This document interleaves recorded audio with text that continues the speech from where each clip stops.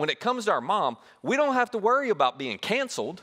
They, y'all don't cancel us, do you? It's like, oh no, you know all the bad and you know uh, the little bit of good, and it doesn't matter to you, right? You just keep loving us in the middle of it. Now, in, in the rest of our world, you know, we know a little bit of bad can negate a lifetime of good. A, a terrible moment or terrible season can cancel out, you know, all the other good things that somebody's done. And you may not like that and say, well, that's not fair. And you're right, but life isn't fair, okay? So we just got to move on because that's just, that's just the way it is. But man, if you moms, you demonstrate unconditional love, you demonstrate what free forgiveness looks like in such a great, great way. And I think all of us would agree if there was some way to bottle that up, you know, the love that moms have for their kids, if there was some way to bottle that up and export that where all of us demonstrated that to, you know, throughout the world, not just to our family, but to everybody, oh my gosh, our, our world would be a better place. Unfortunately, that is not the reality, though, is it? The reality, it looks more something like this. Uh, when it comes to people that we don't like, well, we maximize all of their mistakes. We maximize all of their wrongs. We maximize all of their sins, whatever term you want to use. When they mess up, it is no mercy, is it? It's no mercy. I'm gonna, if I don't like you, I'm not cutting you any breaks. I'm not giving you the benefit of the doubt. I'm definitely not forgiving or showing unconditional love towards you. I'm just gonna magnify and maximize all the mistakes you made, and you ought to get what's coming to you. And at the same time, if you're somebody I do like, then it's odd. But I'm going to turn around and minimize all your mistakes. I'm not going to be near as harsh with you because I like you and I'm going to give you the benefit of the doubt. And I'm, I'm going to pay attention to some of the good you've done, you know? So I'll just, I'll just minimize all that. And it was a moment and it was bad, but, you know, come on, overall, you're a pretty good person. And then when it comes to us, you know, we don't even take that approach with us. When it comes to us, I'm going to justify all my own mistakes. Well, because I know what the circumstances were, and in that situation, I know what was going on, and there was a reason, and you know, let me explain. And, you know, we tend to excuse away all of our own stuff. But this double standard, if you will, that we all live with and we all participate in, this double standard actually can create a whole lot of damage. And this double standard can lead you to a place, if you're not careful, that you actually don't want to be. So, if you hadn't been with us over the last few weeks, we are wrapping up a series today called The Perfect Guide for Life. We're talking about how integrity brings clarity and it brings courage. And, quick summary for you, just to get you up to speed integrity is one of those things that we all celebrate when we see it in other people. Uh, we criticize it when there's a lack of integrity in somebody. Anytime we see a breach of integrity, we're quick, quick to be really critical of that. Uh, we expect it of everybody. We talked about that in week one. That's a whole different conversation. It's so ironic that even if we think everybody gets to make their own choices when it comes to integrity and how we view integrity and right and wrong, well, you know, that's, we just expect that out of everybody. And then we excuse, as I said, we tend to excuse it away in ourselves, which is why we have talked throughout this series and defined integrity in such a way that sets a high bar for us because, quite honestly, we need a high bar because we're always going to try to figure out a way to wiggle our way underneath whatever the bar is. But the bar is simply this integrity is doing what you ought to even when it costs you. Is doing what you ought to even when it costs you. Because if you don't do what you ought to when it costs you, it ends up not just costing you more, but it costs the people around you because your irresponsibility eventually becomes somebody else's responsibility. Our integrity is personal, absolutely. It's never private. There's always a price to pay when you give your integrity away. And so we've had this theme verse or principle, if you will, that King Solomon wrote long, long time ago. It's still true today. Solomon painted a picture for us of the two different roads, the two different paths that we get to walk on, that we each get to choose, uh, that we each get to decide. But whichever road we walk on has a predictable destination to it. It always does. And so his words or his advice to us were the integrity of the upright will guide them. People who say, I'm going to make integrity my North Star, the primary decision making filter, it always becomes the perfect guide for their life. It gives incredible clarity. But the crookedness of the treacherous, he says, people without integrity, what's going to destroy them eventually. That is what all of us wrestle with, isn't it? Two roads, two paths. They lead to two predictable destinations. And it would, you know, from the outside as an observer, you'd go, well, I'm always going to choose integrity. But you and I both know the reality is that's not so easy to do in the middle of real world, real life decisions because integrity is not the only thing vying for our attention. Our appetites, our desires, our emotions, the stuff that we want, we want it right now, well, that's vying for our attention too. And so we're always caught in the tension between integrity and appetites, integrity and appetites. You were caught in it at some point this last week. You'll face that same tension again this coming week. It is just the way that it works. And so, what I want to do today as we wrap this up the series is I want to talk for just a minute about how to find the courage to make the right choice to choose integrity in these situations, even if, even if it's going to cost you something, and even when it might possibly cost you everything. So we left off last week. If you weren't here, I'm, don't worry. We left off last week with a 15 year old Jewish young man by the name of Daniel, having been uh, abducted, if you will, kidnapped, captured, whatever way you want to look at it, from his native home in Jerusalem. Nebuchadnezzar had showed up, the Babylonian emperor, after the Battle of Carchemish when he defeated all the um, the Assyrians and the Egyptians. He marches to Jerusalem. He defeats the, the Israelites. He takes the best and the brightest of the young men, which included Daniel. He marches them off to Babylon to serve in his government, and he's going to put them in a three year training program. When we looked last week at what this program entailed, and Daniel makes the oddest decision in the middle of this. Daniel decides something that seems like nothing to us is actually everything to him. He's going to draw a line there. He's not going to violate his integrity. He's going to take the risk of losing his life over the kind of food he was going to eat in this program. We talked all about that last week if you want to go back and catch up on that. And Daniel, because of his integrity, along with three of his friends, Shadrach, Meshach, and Abednego. These four guys end up uh, being honored for the integrity that they have. They're allowed to eat a different kind of food at the end of three years. They stand before Nebuchadnezzar, and where we left off was Nebuchadnezzar giving them a final exam. He finds them better than all the other young men who went through the program. He gives them prominent positions in his government, and it seems like it's a happily ever after ending. Only if you know much of Daniel's story in Shadrach, Meshach, and Abednego, you know it was not. It was one test of integrity after another their entire lives. And I'm not going to go into all of that. But one of the things that's interesting, and to give you some context of what we're going to talk about today, Daniel ends up serving over the course of his life from the time he's 15 until his early 80s. Daniel ends up serving four different kings in three different kingdoms. So, you know, he served Nebuchadnezzar, and then he served under Nebuchadnezzar's son Belshazzar. So they were both part of the Babylonian Empire. And then the Medes came in, defeated the Babylonians, and Daniel served under Darius. And then after Darius, the Persians came in and defeated the Medes and kind of uh, assimilated all of that together. And he served under somebody, maybe you've heard about if you're a history buff, Cyrus the Great. So Daniel ends up serving under all four of these kings over the course of a long, long political career. But today, for the purposes of our discussion, I want us to revisit something that happens to Daniel 55 years after he was first deported to Babylon. So he's about 70 years old at this point, and he's serving under the reign of King Darius. And Darius decides he needs to reorganize his entire government. This is what prompted it all. The empire's gotten bigger and bigger and expanded and expanded. He feels like he needs a new structure.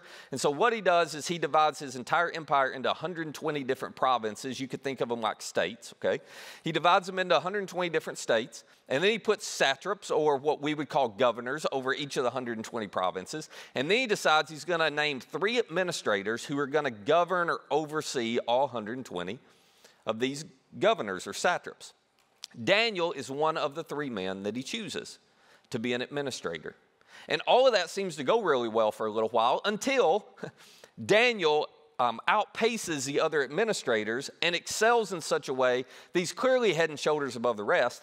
And Darius gets an idea. Darius goes, You know what? I think I want to create a new position. I want to make Daniel, I want to elevate him to be prime minister of my entire empire. And then I'll fill his role with somebody else. And so these three administrators will answer to Daniel, you know, and then all the governors will answer to the administrators. Which sounds like a great plan, with the exception of, you know how politics work, right? So, yeah. So they're all furious when they hear this because they don't want somebody else getting this power and this position that they wish they had. And so the governors and the administrators, they're filled with anger, full of jealousy, and they hatch a plan to try to disrupt and derail Daniel's promotion. And here's what the writer tells us happens. He says that this, the administrators and the satraps, or the governors, they tried to find grounds for charges against Daniel in his conduct of government affairs. So their approach is this All we've got to do is find some corruption in Daniel's past. It'll disqualify him. We'll prove to Darius he's not as trustworthy as he looks. And then one of us will get the job. Now, what do you think they found? Well, if he's a typical politician, they found about a thousand page report of corruption, right? It's like anytime they run one of those things, I don't care if it's Republican or Democrat, it's like, oh my gosh, like how can you be in politics without, you know? So there's, you just assume, oh yeah.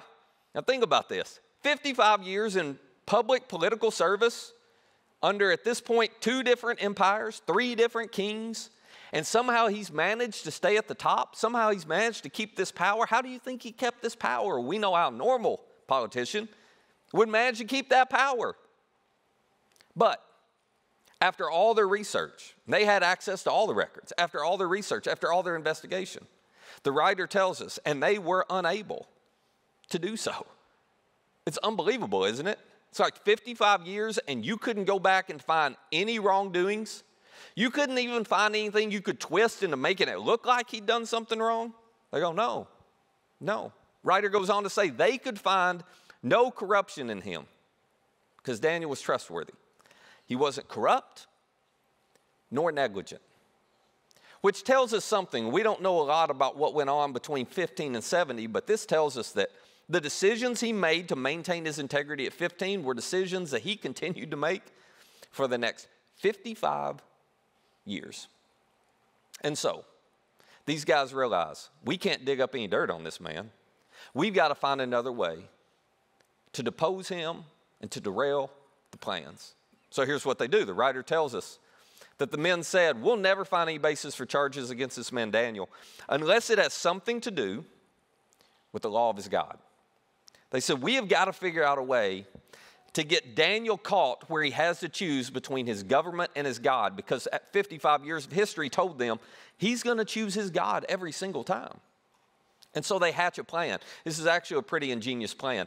They go to King Darius one day and they say, Darius, we've just been thinking. Now, anytime you've got somebody comes to you and starts like that, you know, uh oh, right? We've been thinking you are the greatest king in the history of the world. And the buttering starts. You know, it's like, here we go. So they say, We've been reflecting on what an amazing king you are. I mean, you're so great. You're like a god. You're like a god. You're just nobody, the world's never seen a king like you. So we, we've got an idea. We think we should host a 30 days of Darius celebration throughout the entire empire. It's going to be amazing. We're going to get t shirts, little Darius bobbleheads, Darius dogs. I mean, the merch is going to fly off the shed. It's going to be incredible, you know. And of course, stroke, they're stroking the ego of this guy. This guy's like, this sounds like a great idea to me, you know. He's not paying attention to the long game. So they're like, we're, we're going to throw this. You like this? We'll do a parade, you know, through town. We'll have you, you know. He's like, oh, yeah, that sounds pretty good. So they get all of these plans laid out. They say, Darius, we, we want you to prove this. Oh, by the way, you're so amazing. Here's what we're thinking we, we think for 30 days, everybody in the empire ought to have to pray to you because that, they, that's how they show that they honor you. That's how they show they're loyal to you. That's how they show that they recognize you're basically like a God. You're so amazing. So let's just, let's just outlaw and ban any prayer to any God but you for 30 days. Now, we don't have time to talk about this, but how narcissistic do you have to be to say, I think everybody ought to pray to me for 30 days, you know? It's like, I'd be committed somewhere if I got up here and said that. But it, Darius goes for it. He's like, oh, I love this. I love this. And then they throw this in. They're like, you know what? You know, we're going to have the parade and we're going to have all the merch and we're going to have all the stuff going. Darius, we might even throw in a few public executions. Does that sound fun to you? He's like, oh, yeah. He's like, yeah, yeah. If anybody doesn't pray to you, if they pray to some other God instead, we're just going to have them thrown in a lion's den. It'll be great entertainment. Them versus the lions. Darius signs off on it. Okay? Again, quite a bit of narcissism. He signs off on it. And they've set the trap. Darius doesn't know it, but they have set the trap for Daniel. And so, word starts to get out, you know, the declaration is made. And the writer tells us that when Daniel learned that the decree had been published, he went home to his upstairs room where the windows opened toward Jerusalem. Now, just pause right here for a second. What would you do at this point if you were Daniel? I'm going to be honest. I think number one, I'm going to close my windows. I think that's where I would start. No need for those windows to be open. Um, number two, I can, I can pray to God without you knowing I'm praying to God. I just do it in my head. You know, no need to kneel down at the windows, which is what he usually did. I mean, just close the windows, clean the house, and pray while I'm cleaning. Nobody will ever know. Daniel's got a lot of options here. Now, before we move on, there's a question I think is important for you to wrestle with, and you may not know the answer today, but I think it's worth you spending some time thinking about over the next few days and trying to figure it out because this will explain a lot of the decisions you make, and it will explain the reason you have ended up in a lot of the places, good or bad, that you have ended up. The question is what do you do when you're certain that the right thing will cost you? Well, it depends on what's most important to you. That's what determines what you do. Your marriage is struggling and you want to get out. Why would you be miserable the rest of your life? What do you do when you think, well, the only way, the only, the only way for this marriage to survive is for me to go through some things that are going to cost me a lot. And there's no guarantee it's going to be better. What if I'm miserable forever? I'm gonna have to go through counseling. And I'm gonna have to do that. We're gonna have to put so much work into this. What do you do when you're in that situation? It depends on what's most important to you. It depends on whether your marriage and your commitment and your integrity to that person is most important or your happiness is most important. What do you do when you find yourself in a situation where if you lie, it'll benefit you in some way? And it doesn't even have to be a big lie, it's just a little deception, but it'll pay off. It's a little deception, it'll keep you out of trouble. It's a little deception, and your boss will never know. That depends on what's most important to you. Controlling the outcome and feeling like you were able to get what you wanted there, or your integrity. What do you do when you got this financial opportunity, but uh, it's going to force you to violate your integrity a little bit, but it's going to make you a lot of money? Depends on what's most important to you. This is true for all of us. When it comes down to it, when we're certain a decision, maintaining our integrity, is going to cost us something, what we do in that moment depends on whether there is anything in our life that is more important to us than our integrity. And listen, I'm not trying to be hard here, but the reality is, anytime you and I choose something other than our integrity, it just shows that thing is way more important. It doesn't matter what we've said, that thing is actually more important than our integrity, than doing what we say we know we ought to. This is what Daniel's wrestling with. As he goes back home, he walks upstairs. There are those open windows where three times a day, because he was Jewish and this was a part of their culture and part of their life, three times a day he would kneel at those windows, face Jerusalem, and pray to his God. What's he going to do? Well, you may know the story. Here's what he did three times a day, after the decree, he still got on his knees, he still prayed, giving thanks to his God, just as he had done before. No change. No change. Which, if we're honest, seems a little extreme, doesn't it? It's like, no, you, there are other ways to do this, Daniel. But Daniel was not going to allow any breach of his integrity because he knew one breach leads to another, and another leads to a pattern. And so he just kept praying. He just kept praying. To which, if we'd have been there, I think we'd have said, Why are you doing this? And I think he would have said, Well, because I think my God is bigger than any threat. And I value my relationship with him more than controlling the outcome of this situation. And so we prayed.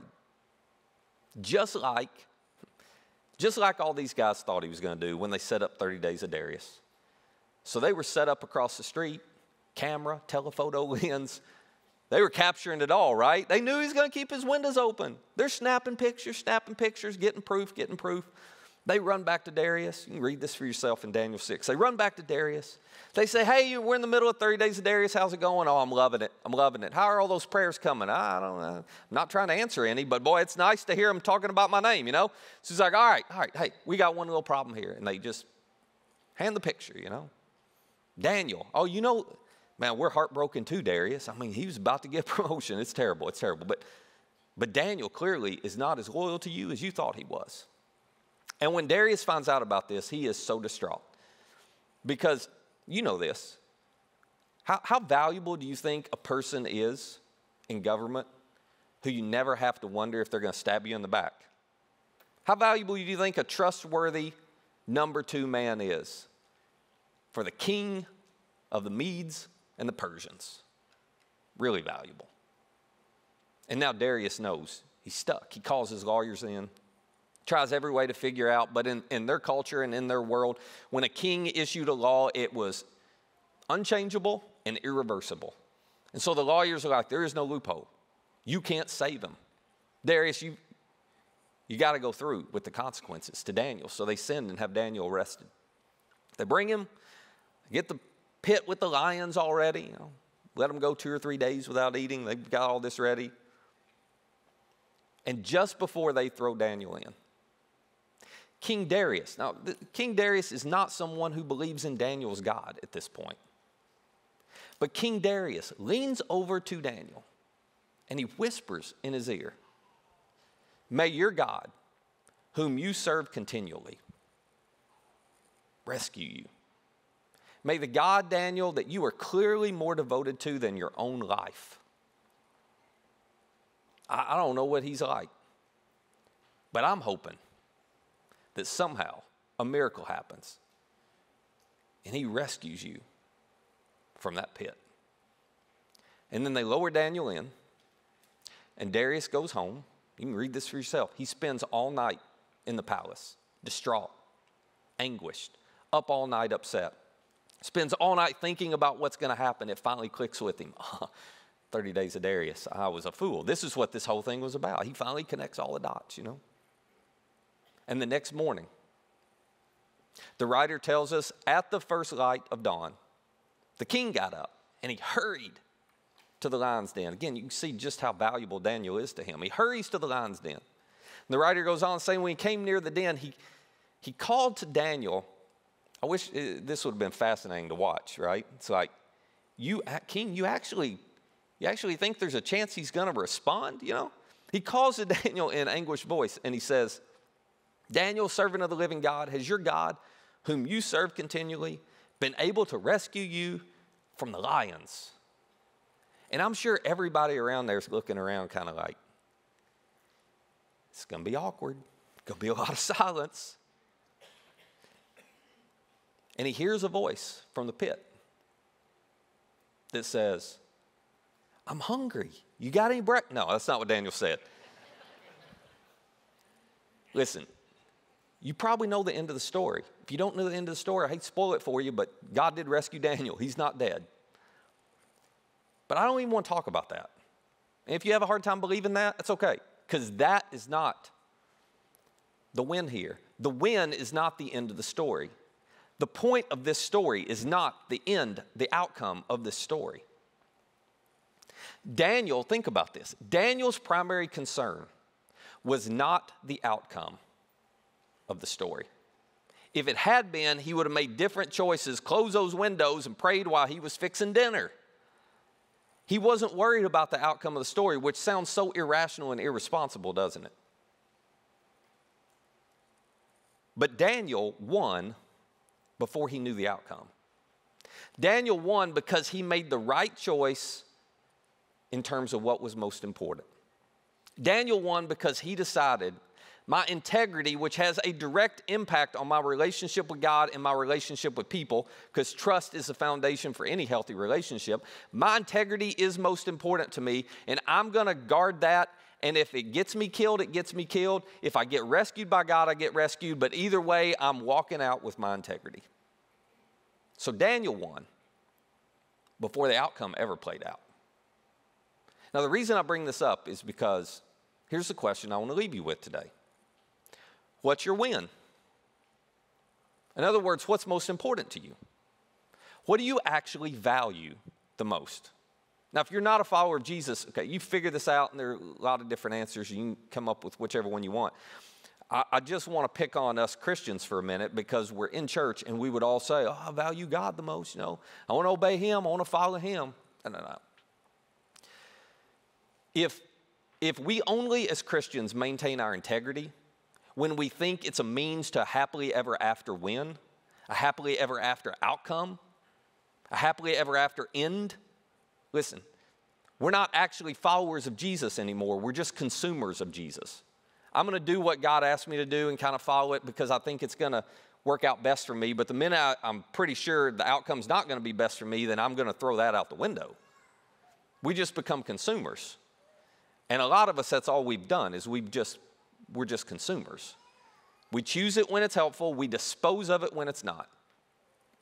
When you find yourself in a situation where you are certain doing the right thing is going to cost you something and you feel like it might cost you everything, that's when you find out if your faith, if your relationship with God is disposable to you or not. For Daniel, it clearly wasn't. But the point of the story and the thing I want you to walk away with today is not, oh, if you'll maintain your integrity, God will honor you and make sure everything works out great. He does not promise that, and it may not happen. The point of the story is what's most important to you? Will you value integrity in your relationship with God and others more than you value any other outcome that you're hoping for, wishing for, or pleading for in your life? So, I want to end with another principle from King Solomon. And I would encourage you, just like I have the other one, this one would be worth memorizing. This is one I memorized. Um, a long time ago to remind me of why integrity matters so much. In Proverbs 28 1, Solomon said, The wicked flee, though no one pursues. You know why? Because they have a guilty conscience. Because they always assume other people are going to do to them what they would do to other people. They don't trust anybody because they assume everybody's out to get them. They assume eventually all the stuff from the past is going to catch up to them. So the wicked people flee. People without integrity, they flee even though nobody's pursuing them. But the righteous, people of integrity, are as bold as a lion. You know why? Because their win is what I actually think you want your win to be. Their win is a clear conscience. Every night when they lay their head on their pillow at night, no matter what it costs them, they know I did what I ought to do. Their win is confidence. Confidence they've got nothing to hide. Confidence God is with them. Confidence that God is for them. Confidence that God is going to show up and walk with them through whatever they're walking through because they have maintained their integrity with God as well as maintained their integrity with others. So they're bold as a lion. They're courageous. They're willing to make choices and do things and handle situations in ways nobody else will because they're not afraid of what's coming their way. Integrity does that for you. Integrity gives you courage. Integrity makes you bold as a lion. So, you have to decide what your win is. You have to decide what matters most to you. You have to decide what you're going to value. But listen, whatever you choose to value will determine where you end up and what you end up doing and the kind of person you end up becoming. So I would suggest that you make choices that'll give you a clear conscience and give you confidence that you do what you ought to, even when it's going to cost you. Because in the long run, it is always, always, always what's best for you and best for me too. Let me pray for us. Father, in this moment, would you help us to be willing to decide in advance, as Daniel did? This is what I'm going to value most. I'm going to value my integrity. I'm going to value the trust I have in my relationship with God and the trust I have in my relationship with people. I'm not going to make any decision that could in any way diminish or destroy that. Help us to be people who are willing, especially those of us who follow you. Help us to be people who are willing to, to just follow the example you set for us, Jesus, to do what we ought to, even if it's going to cost us everything. And to leave the outcome in your hands. That's up to you. And just to value what matters most with you. Thank you, Jesus, for the strength you give us to do that, the encouragement you give us, and thanks for the boldness that we get to experience when we are people of integrity. Would you continue to allow integrity to guide us and to help us to listen carefully to your direction, to your voice, to your standard, to submit to it. It's in Jesus' name we pray. Amen.